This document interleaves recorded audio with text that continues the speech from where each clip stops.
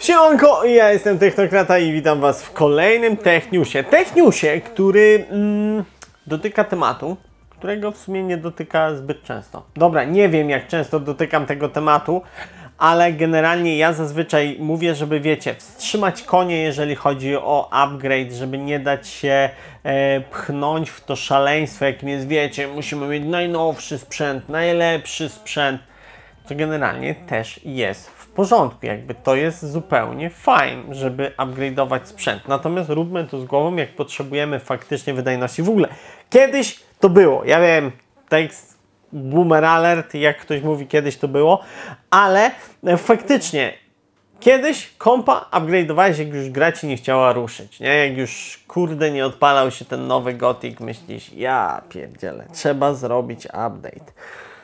Tak kiedyś było, nie? Eee, dzisiaj jest tak, że o, masakra, mam na ultra w 1440p 59 klatek, nie da się grać, mam kup kartę.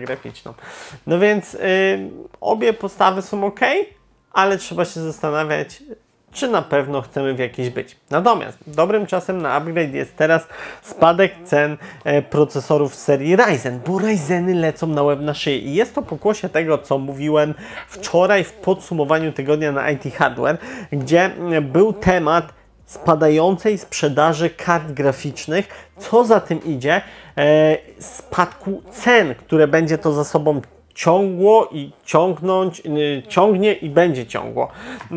Y, spadek tej koniunktury, spadek tego, że nie sprzedaje się tyle sprzętu, to producenci, żeby wiecie, nie utknąć z tym na magazynie, bo przecież jeżeli teraz tego nie kupicie, to tym bardziej nie kupicie tego za rok, bo już będą jeszcze nowsze procesory, jeszcze nowsze procesory, więc trzeba się tego pozbywać na bieżąco. Nie ma, że ze sprzętem jest, nie wiem, jak ze złotem, jak z mieszkaniem, jak z czymkolwiek innym, nie wiem, nawet z butami, sneakersami. No, czy nawet z samochodami paradoksalnie, chociaż z samochodami to sytuacja do niedawna była podobna jak z, ze sprzętem.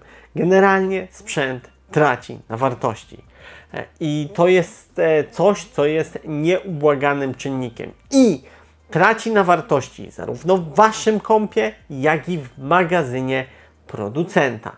Więc trzeba go z tego magazynu wypchnąć jak najszybciej, najlepiej z jak największym zyskiem.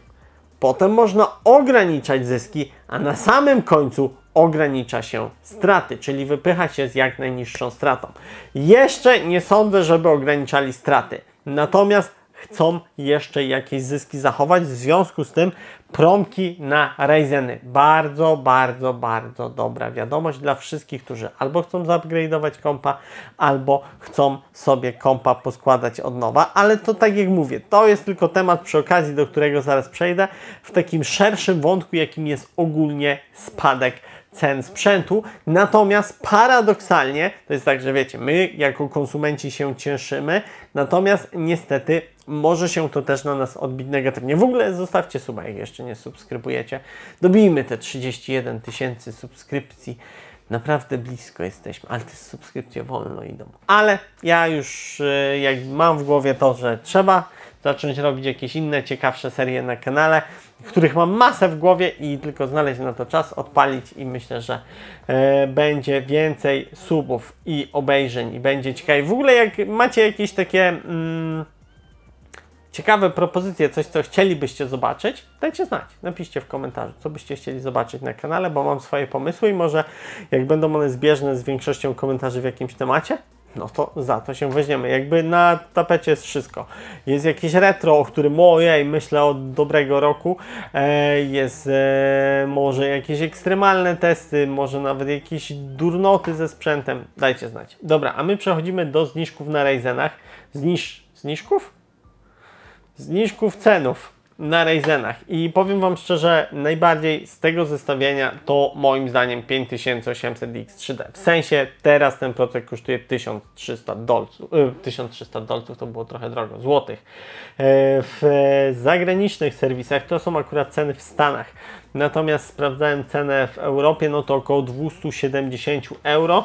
E, co 270 euro daje nam jakieś 1200 zł spoza Polski, jeżeli byśmy go kupili. Natomiast ja standardowo zachęcam do zakupu z Komputronika, bo wiecie, partner kanału, więc kupujcie, wspieracie wtedy też mnie. Pod spodem mam jakieś linki do zniżek, więc jak chcecie, to rzućcie okiem.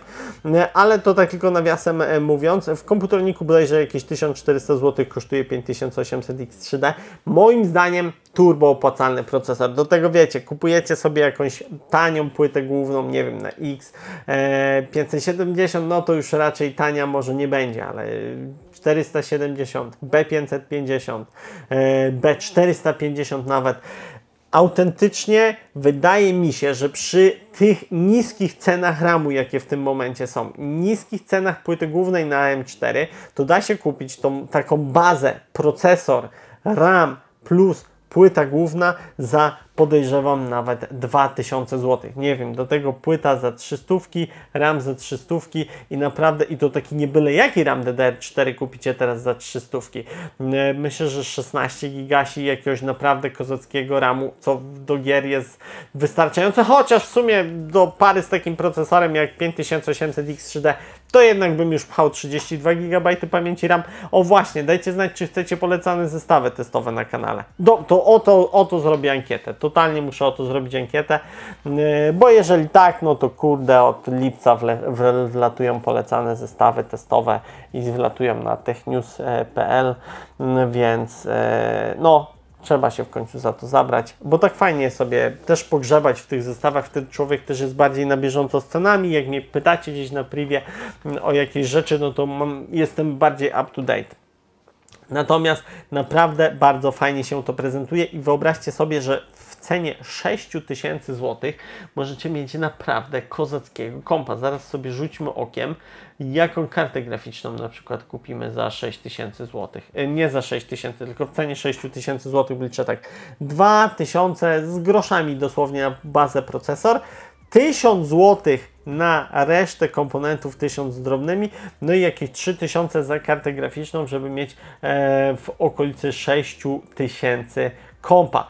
Nie ma, a o, bacie, RX 6950 XT w komputroniku za 1200 zł. No, więc zarąbista karta w dobrej cenie. Mm, teraz patrzymy sobie, co my tu mamy. 4070 słabo. W ogóle, czy tak poszły w ogóle 4070 Ti, że one już kosztują. Znaczy, to jest nadal poniżej MSRP, ale były, były już tańsze. Hmm. Eee, no, natomiast 6950 XT, no to bardzo, bardzo fajna karta. Tutaj 4070 też nie jest gorsza, no ale gorsza wydajność. E, natomiast karta sama w sobie jakościowo może lepsza, jeżeli chodzi o sterowniki i tak dalej. No, ciekawe jak 7900 XT, czy tutaj może uda się, no 4000 to już do kompa za 7000 zł, ale no już za 7000 zł to już można mieć naprawdę taką maszynę, że głowa mała. I to na takim procesorze, który moim zdaniem jest turbo kozakiem. A jak chcecie na Ryzenach serii 7000, y, no to y, do gier oczywiście też procesor z X3D, więc 7800 X3D to jest w ogóle już król procesorów gamingowych, tylko że tutaj cała platforma będzie droższa, y, bo droższa płyta główna, droższy RAM, niewiele, bo już też te ramy potaniały i to też jest następne clue. DDR5 potaniały bardzo, bardzo mocno. To też jest powodem powodem tego, tego, tego tanienia jest to, że tego sprzętu się po prostu dużo nie sprzedaje i w związku z tym ceny spadają. Co jak mówiłem, w pewnym momencie jest dla nas dobrą wiadomością, bo chcemy jak najniższych cen, fajnie się upgrade'uje, kupuję nowe dyski, naprawdę zarąbiście teraz tanie są dyski SSD, e, pamięci z RAM są tanie, ja też ostrzę sobie zęby na upgrade, karty graficzne grubo poniżej cen MSRP, procesory tanieją, e, tylko że koniec końców już tak jak robiłem newsa w tamtym tygodniu, nie, albo nawet dwa tygodnie temu o producentach pamięci RAM, gdzie oni obcinają tą produkcję, zaczynają produkować coraz mniej, żeby ratować te ceny, bo one w nieskończoność nie będą spadały.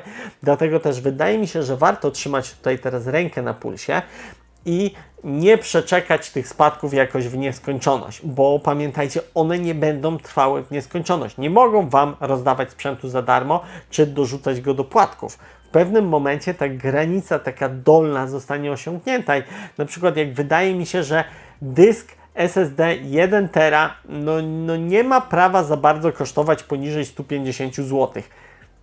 O ile w ogóle będzie się go kiedykolwiek dało wyrwać za 150 zł, ale poniżej tej kwoty wydaje mi się, że w tej dekadzie raczej będzie ciężko o dysk. Oczywiście nowy technologicznie, czyli PCI Express 5, 6 i tak dalej.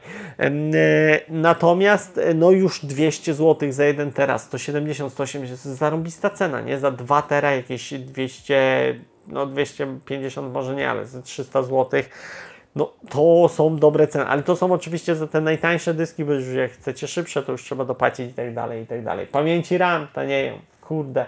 Procesory, teraz jak ktoś ma AM4 i chce jeszcze zupgrade'ować swojego kompa, oprocka, no to chyba wydaje mi się, że to jest najlepszy moment, żeby wrzucić tego 5800X3D, e, bo no już za niedługo ten procesor zacznie być troszeczkę stary, troszeczkę zacznie się e, deaktualizować, ale pytanie, czy z kolei jeszcze troszeczkę ceny nie mogą polecieć na serii 7000, bo wydaje mi się, że tutaj mamy margines jeszcze tego spadku ceny, że jeszcze to nie jest najniższa możliwa cena. O, oczywiście wydaje mi się, że na całej reszcie komponentów jeszcze to nie jest najniższa cena, jaka jest możliwa. Natomiast trochę boli mnie, że na przykład na dodatkowych rzeczach ceny nie spadają w dół. Obudowy jakoś spektakularnie nie lecą, zasilacze spektakularnie nie lecą w dół, chłodzenia IO ciekawe. To jakoś, jeżeli chodzi o ceny, w miarę stoi w miejscu. Dajcie znać, jakie są Wasze spostrzeżenia. Ja Wam za dzisiaj bardzo dziękuję. Widzimy się jutro w kolejnym filmie, który już jest nagrany, który zaspoileruję tym, którzy oglądają do końca.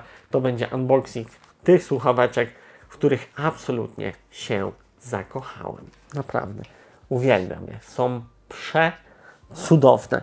E, pomimo tego, iż nie są doskonałe i w recenzji niestety dużo i nie tylko jedną łyżkę dziegciu będę musiał o tych słuchawkach nadmienić, ale nie zmienia to faktu, że ja absolutnie uwielbiam. Więc jutro unboxing, w niedzielę bardzo ciekawy film, który no nagrywałem już z miesiąc temu e, i to nagrywałem go przez prawie tydzień, taki eksperyment, więc w niedzielę taka recenzja, bardzo ciekawa moim zdaniem. No, w poniedziałek wracamy do newsów. A ja przez ten czas oczywiście nie będę się opieprzał. Będę nagrywał kolejne recenzje, które po, pojawią się, mam nadzieję, że za tydzień. No i tak to się wszystko kręci. I myślę bardzo mocno nad pewnym tematem, z którym Kamil, Tech Testers, mnie wyprzedził. A ja już go zagajałem na kanale jakieś pół roku temu, pamiętam w jednym filmie. Robiłem nawet film, laptop za 500 zł. Eee, I nie wiem, czy ktoś z Was pamięta, co tam zagaiłem, że zamierzam coś z nim zrobić. Chyba później nie skończyłem zdania. A właśnie eee, chodziło o podobny temat, jak ostatnio Kamil zrealizował i zrobił na nim bardzo, bardzo dużo wyświetleń. E, oczywiście, jak na, wiecie, taką ilość subskrypcji i na tematykę technologiczną. No ale nie zamierzam się jakby tym zarażać, e, że, że, że, że będę robił taki temat jako drugi, bo troszeczkę inaczej chcę to ugryźć, a tylko muszę się wybrać w jedno miejsce. Ale to myślę, że na kanale w wakacje gdzieś się pojawi. Dobra, dzięki wielkie. Widzimy się jutro w kolejnym filmie. Do zobaczenia. Miłego dnia, wieczoru, nocy i weekendu Wam życzę, kiedykolwiek to oglądacie. Do zobaczenia. Cześć! Thank you.